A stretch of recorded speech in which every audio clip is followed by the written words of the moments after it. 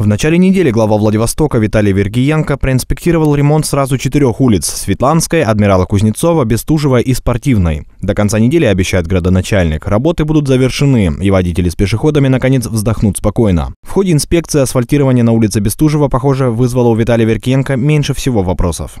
Вижу, что ровность приемлемая, да, качество асфальта вижу тоже хорошее. То есть, поэтому очень надеюсь на то, что Спасибо. не возникнет проблем в течение гарантийного срока. А вот подрядчикам, работающим на Светланской, повезло чуть меньше. Открытие планировалось на 20 августа, но будет отложено. В настоящий момент здесь уложено только 60% дорожного покрытия. Впрочем, глава города не применул напомнить о пешеходной части дороги, а также сделал подрядчикам замечание. Ладно, я понимаю, асфальт не успели положить, но вы не успели и тротуары сделать.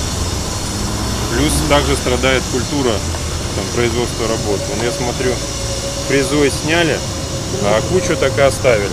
Это прямо сегодня ночью.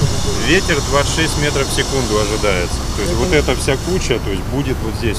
Рабочие бригадиры гарантировали, что наведут порядок на Светланской, и Виталий Веркенко продолжил объезд с инспекцией, лично напоминая подрядчикам о требованиях высокого качества и сроках. Этот разговор состоялся на спортивной. Мы договорились, что я приеду 20 числа на приемку работы. Я приехал на приемку работы, что я вижу?